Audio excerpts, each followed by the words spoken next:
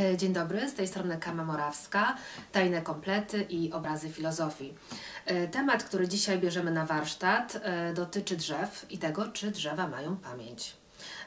Temat wydaje się może troszeczkę absurdalny i dziwny, aczkolwiek we filozofii nie ma tematów dziwnych i absurdalnych.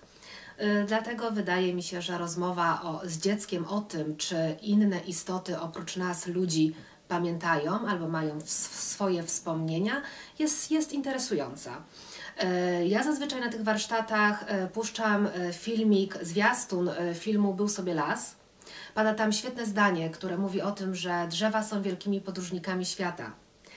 Dla dzieci jest to mm, niesamowite, że słyszą, że nie tylko istota ludzka podróżuje, ale także wielkie drzewo potrafi podróżować.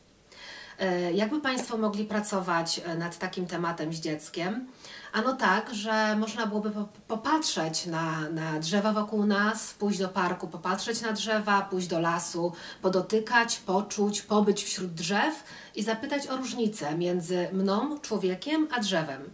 Czym się różnię ja, gatunek Homo sapiens, od gatunku drzewo, klon, brzoza, lipa?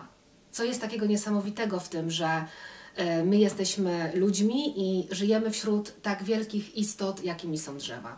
E, Ciekawym ćwiczeniem e, jest ćwiczenie, e, w którym to ćwiczeniu będziemy obcować z rośliną. Każdy z nas e, w domu, wydaje się, ma rośliny doniczkowe. E, Możemy taką roślinę wziąć, zapytać e, nasze dziecko, czy, czy kiedyś zastanawiało się nad tym, czy ten oto kwiat ma zmysły.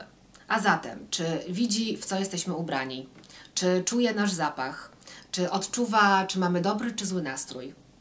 E, Są książki naukowe, które mówią, że roślina ma jakiś rodzaj zmysłów, a zatem doświadcza rzeczywistości, tym samym doświadcza nas.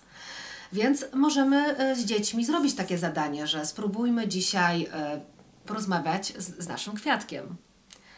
Zapytać się go, jak się czuje, mm, sp- spróbować się dowiedzieć od niego, czy wie, jak wyglądamy.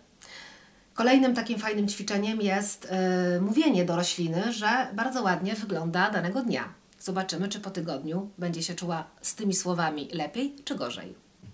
Główną ideą zajęć pod tytułem Czy drzewo ma pamięć jest uwrażliwienie e, dzieci na istnienie międzygatunkowe. E, Tym samym nie tylko my, ludzie, jesteśmy na planecie Ziemia, ale oprócz nas są także wielkie drzewa.